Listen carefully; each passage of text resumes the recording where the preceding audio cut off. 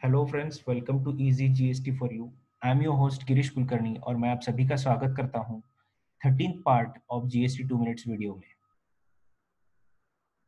हमारा आज का सवाल है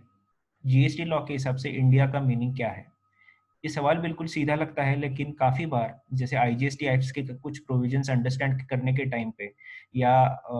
import export place of supply इसके रिलेटेड प्रोविजंस अंडरस्टैंड करने के टाइम पे इंडिया का मतलब जानना, सही मतलब जानना काफ़ी ज़रूरी है। तो इसीलिए आज का सवाल है इंडिया का जीएसटी लॉ के हिसाब से क्या मतलब है?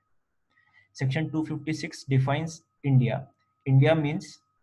territory of India as referred to article one of the constitution constitution के article one read with schedule one के हिसाब से वहाँ पे पूरी लिस्ट दी गई है कि all states and union territories which are to be included in the India इसी के साथ साथ territorial waters continental shelf exclusive economic zone and other maritime zone act 1976 के हिसाब से कुछ टर्म्स है वो भी इसमें ऐड हो जाएँगी जैसे कि टेरिटोरियल वाटर्स जो है 12 nautical miles from the base line उसके बाद sea bed and subsoil under such waters उसके नीचे वाली पूरी ज़मीन continental continental shelf which is uh, about 200 nautical miles from territorial waters till up till the high seas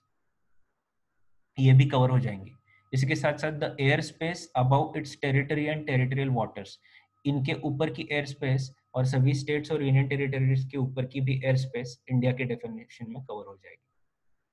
तो ये था दोस्तों हमारा GST two minutes quiz video आज का। कैसा लगा आप ज़रूर कमेंट करके बताइएगा और अगर अच्छा लगे तो लाइक एंड शेयर करना ना भूलें इसी के साथ साथ हमारे channel easy GST for you को सब्सक्राइब भी कीजिएगा। Thank you so much